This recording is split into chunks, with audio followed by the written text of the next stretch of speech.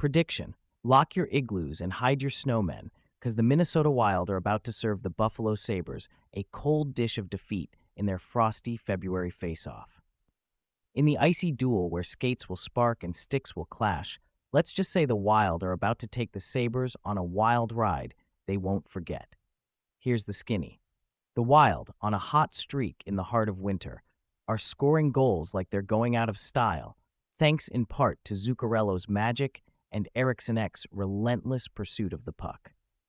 On the flip side, the Sabres are bringing a defense so tight, not even a snowflake could sneak through, led by their goalie Luukkonen, who's more wall than man at this point.